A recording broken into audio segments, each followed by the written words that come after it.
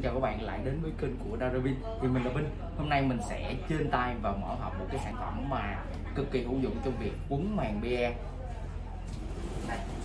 Đây là cái hộp mà bộ mình cũng sẽ bật mí luôn. Thì hộp này là bộ dụng cụ quấn màng BE tay cầm.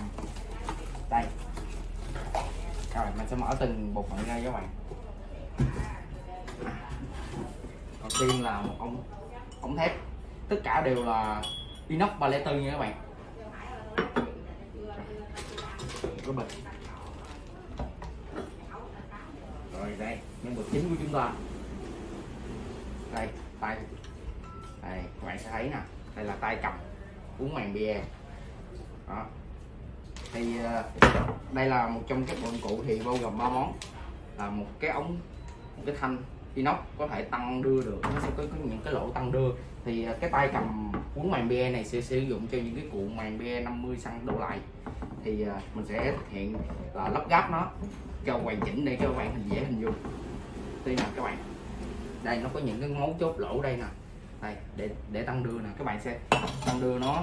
Nè cái lúc này nè, bạn sẽ ấn nó xuống. Ấn ấn hai đầu xuống, cho nó tụt xuống. Đó. Tăng đưa vừa đủ với cái cuộn bê của mình nha các bạn. Thì đây nó sẽ có một cái tay cầm nhiều Đây, cầm nó rất là êm. Bạn đây còn cái bát. Cái bát. Thì sau khi các bạn đưa rồi đúng không? Các bạn sẽ kim vô bát. Ở đây các bạn xây dặn vô. Này, bạn các bạn cứ quay đi. Cái bát thì cứ để dưới.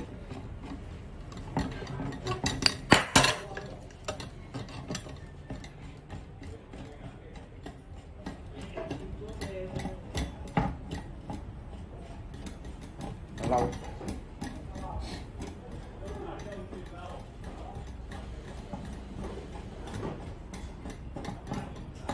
À, các bạn có thể à, khi nào mà các bạn làm xong bạn để cái bát vô để giữ nó lại